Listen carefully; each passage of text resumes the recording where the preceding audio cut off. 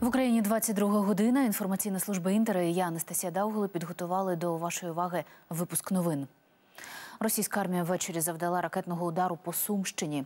Як повідомили в обласній військовій адміністрації, ворог поцілив по об'єктах інфраструктури у Сумському районі.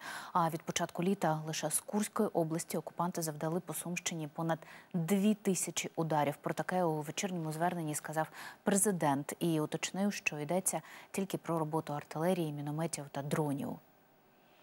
На Херсонщині літня жінка загинула ще дев'ять людей поранені. З них двоє тяжкі. Більше розказав інтеру очільник управління внутрішньої політики Херсонської ОВА Олександр Толоконніков.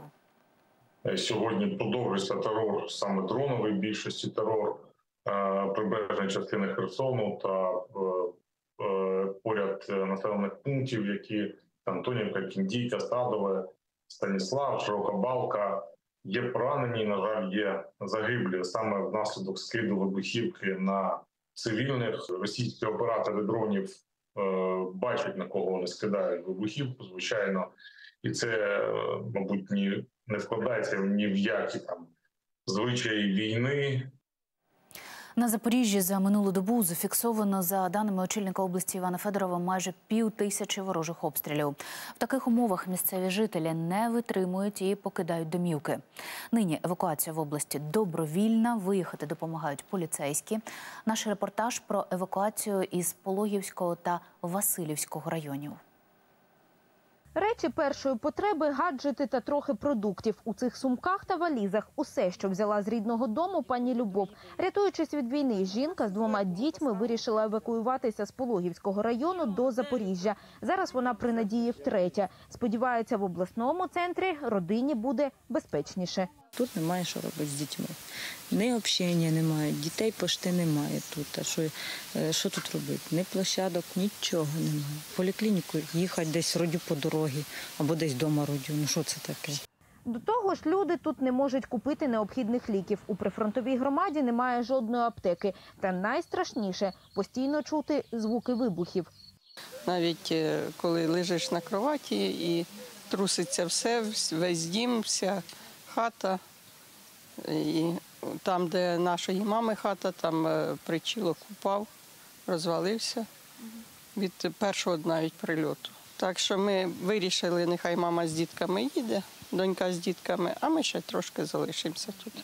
Виїхати до безпечного місця сім'ї допомагають поліцейські. Старша інспекторка ювенальної превенції Наталя Шишкова в групі евакуації вже півтора року. Розповідає, якщо раніше жителів прифронтових територій доводилося вмовляти на переїзд, то зараз уже звертаються самі. Звісно, не всі спокійно реагують, навіть коли вони прийняли рішення про переїзд, е, розуміння того, що це необхідно. Але так сумують рідна домівка, е, їхнє життя, яке залишається. Наталя каже, у третині випадків евакуація відбувається просто під обстрілами. Були виїзди, коли не просто обстріли, а були обстріли кабами. І ми навіть перебували у в укриттях, бо на той момент не могли доїхати до родини, яка нас чекала. Тому під час кожного виїзду у складі групи працюють психологи. Розмовляти з рідними, якщо є діти, розмовляємо з дітьми, дивимось на їх психологічний стан. Може бути е, якісь психологічні вправи на там дихання, те саме. Ну їх багато.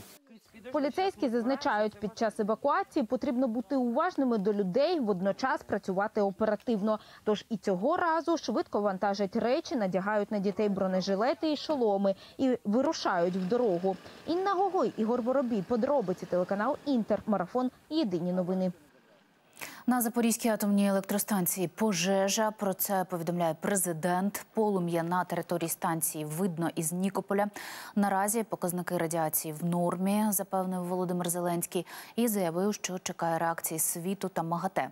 Цитую: Росія повинна за це відповідати. Лише український контроль над Запорізькою станцією може гарантувати повернення до нормальності та повної безпеки. Кінець цитати.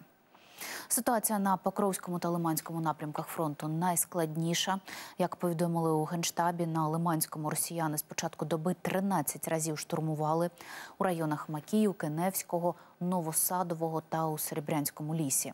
Досі триває атака біля Макіївки. На Покровському найбільше боєзіткнень із 26 спроб потіснити наших захисників. 13 ще точаться. Найактивніший ворог біля Желанного і Калинового. Штурмова авіація загарбників некерованими авіабомбами вдарила по Олександропіллю та Миколаївці. Нові ліки у військових аптечках Міністерство оборони України оновило обов'язковий їхній перелік. Наголошують, що зміна в місто аптечок це крок до стандартів НАТО. Препарати доберуть такі, як використовують у західних арміях. Світло не вимикатимуть щонайменше до осені, запевняють у ДТЕК за умови відсутності нових атак на енергетику та аномальної спеки. Відключень електрики у найближчі два місяці не передбачено, кажуть у компанії. Ситуація поліпшилася завдяки частковому відновленню генерувальних потужностей та зниженню температури повітря. Олімпіада у Парижі добігає кінця. Сьогодні був останній день змагань. У загальному медальному заліку Україна посіла 22 місце з поміж 206 інших країн світу, які взяли участь у змаганнях. Наші олімпійці вибороли 12 медалей: 3 золотих, 5 срібних та 4 бронзові. Найуспішнішими видами спорту у Парижі для українців стали боротьба та легка атлетика. Вибороли три нагороди. Дві медалі здобули фехтувальниці. По одній у спортсменів з кульової стрільби, спортивної гімнастики, боксу та веслування на каної. За кількістю золота Україна показала найкращий олімпійський результат за 12 років. Такі новини. Наступний інформаційний випуск об 11 а зараз у марафоні проєкт Питання совісті.